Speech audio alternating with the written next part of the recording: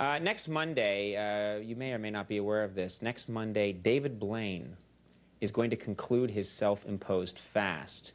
Blaine is attempting to survive 44 days with no food inside a glass box. Here's some footage. That's him there, suspended in his box near the Tower Bridge in London. Everybody's been, you know, covering this. Now, Blaine, who's like a master illusionist and he performs stunts, had been hoping that the people of London would come out and show their support, maybe hold up an encouraging sign to boost his morale. Instead, sadly, over the last month, the people of London have reacted with taunts, insults, and unanimous negativity. Some people have even barbecued delicious smelling food under Blaine's box to torture him to get him to give up and come out and get some food. Well, the British may not appreciate him, but there is someone on our show who's been a longtime fan of illusionist David Blaine, someone who is known for attention-grabbing stunts of his own. He and Blaine even have a friendly rivalry going. They're sort of the Picasso and Matisse of the 21st century, except the art form is human endurance, or should I say, mammal endurance. Ladies and gentlemen, masturbating illusionist, the masturbating bear.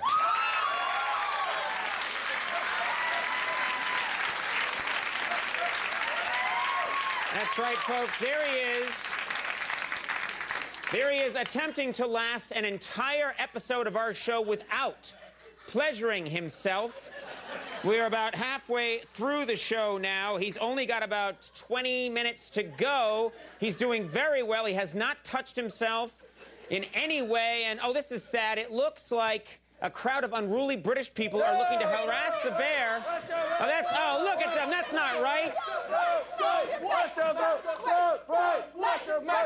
Okay, they're trying to get the bear to fail. That's terrible. And they're taunting him. They seem to be bringing out a TV monitor of some kind right now. This is, I don't know what they're going to show him. They're trying to. Oh my God. Looks like bears of some kind, and I don't really know. Oh, it's bear on bear action, everybody. That's not right. But no, the bear is showing. Oh my God, he's showing amazing restraint. He's holding on. He's holding on, and he's still managing to. What, what's this? They're showing him something else now. Oh, they're showing him bear on zebra action. That's even kinkier, but still, the bear is not budging. This is incredible. I don't know how the bear is holding on. I don't know how he's doing Conan, it. Conan. What, what's the matter, La Hold on. I, I dropped my hat. You dropped your hat? Well, if you drop your hat, just pick it up. All right, okay. We'll